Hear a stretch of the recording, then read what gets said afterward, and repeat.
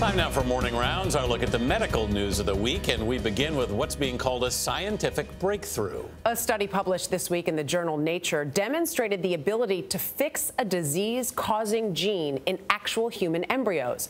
This was accomplished using sophisticated gene editing technology. Here with more on this big development is CBS News chief medical correspondent Dr. Jon LaPook and CBS News contributor Dr. Tara Narula. Jon, how do you edit a gene? Dana, uh, here's how they do it. The DNA in this chromosome had a gene that causes a severe heart problem. So researchers used a special technique called CRISPR to find and help remove the gene inside a human fertilized egg. It's kind of like finding a needle in a haystack, really hard to do. The cell then repaired itself, and at the end of the process, the gene that caused the heart defect was gone. It's amazing. Tara, you're a cardiologist. What, how do you react to something like this? It's pretty amazing. Yeah. You know, they, they were pretty successful for this type of work in the sense that 72% of the embryos did not have the genetic mutation for this cardiac disorder, hypertrophic cardiomyopathy. And they also didn't have any new mutations in that those 72%, which is also excellent news.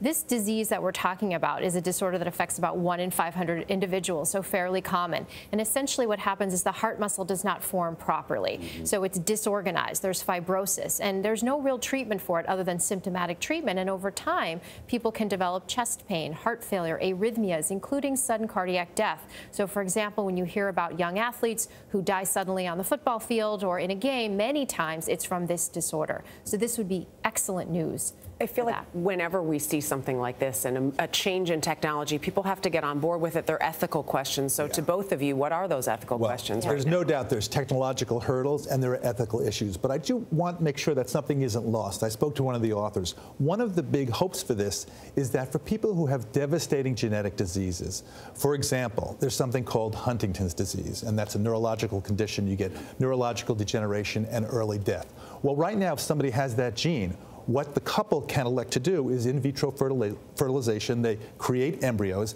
They look at those embryos outside of the body and they say, okay, there are a certain number that don't have the defect, and it would be 50%. There's a 50% chance. Well, the hope is with this technique that that could go up to a much higher percent, 72% in this study, but if it could go up to three quarters, something like that, you have a much better chance of having a successful pregnancy. And you don't have to discard all of those unused embryos. And they mentioned that this could help up to 10,000 different types of disorders. Mm-hmm. All, certain types of Alzheimer's disease, certain types of breast and ovarian cancer, cystic fibrosis, Tay-Sachs. Wow. So real potential for this type of, so encouraging. Of Yeah. therapy.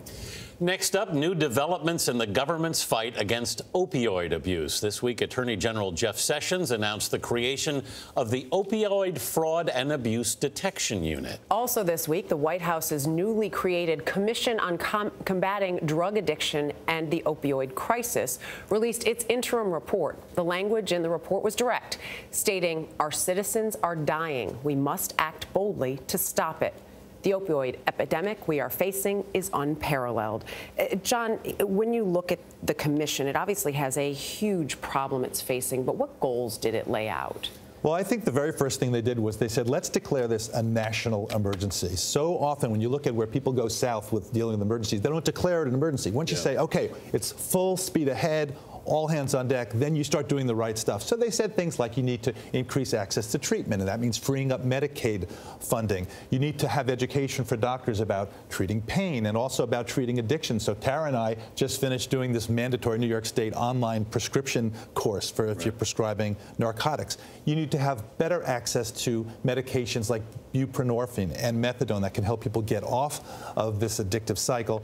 And then in addition, you've heard about this antidote, naloxone, uh, or Narcan is the is the is the gener- is the uh, brand name of it, uh, that can help re- uh, reverse the effects of an overdose, and they, it can help save lives. They want to make that more available to policemen and other responders, and also remove the possibility that you could get charged for criminal, uh, you know, charges for, for reporting that you have an overdose or for helping somebody who's overdosed. So try to try to make it so that it's just more commonly used and easily used. Tara, at the same time, uh, there's a new study that came out about opioids that patients may have left over after surgery. surgery. What did that study show? Right. So for many people, their initiation into the world of opioids comes at the time of a surgical procedure. Mm-hmm. And so while opioids are important in postoperative pain management, what happens to all of those opioids that are unused, unlocked, undiscarded? Well, they can become a reservoir for people in order for those to then go on to be used for non-medical purposes. And so that's what this uh, research really addressed. They look at six. They looked at six studies, about 800 patients,